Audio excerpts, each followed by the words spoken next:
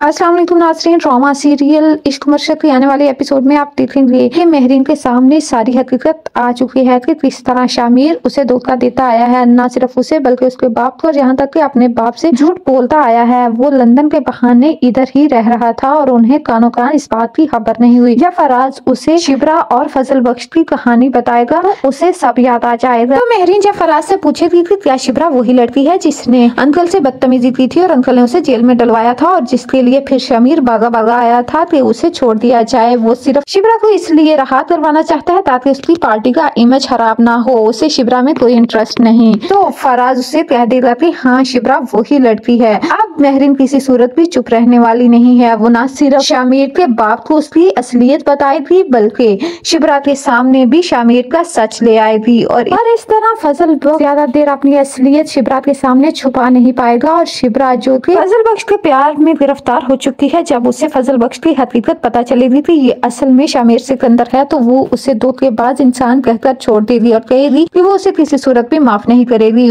उसने न सिर्फ़ उसे, बल्कि उसकी फैमिली को भी धोखा दिया है। और वो अपना रूप बदल कर उनके घर रहता रहा और हर बात में उससे झूठ बोलता रहा। तो इन सब में सुकैना शामिर की मदद करेगी और कहेगी की शामिर का तरीका गलत हो सकता है, लेकिन वो इंसान गलत नहीं। उसने हमेशा ही इस गलत को मुश्किल से निकाला है। वो कभी भी हमारा बुरा नहीं चाह सकता। वो दाऊद खान का बेटा तो ज़रूर हो सकता है, लेकिन वो अपने बाप की तरह बिल्कुल भी नहीं है।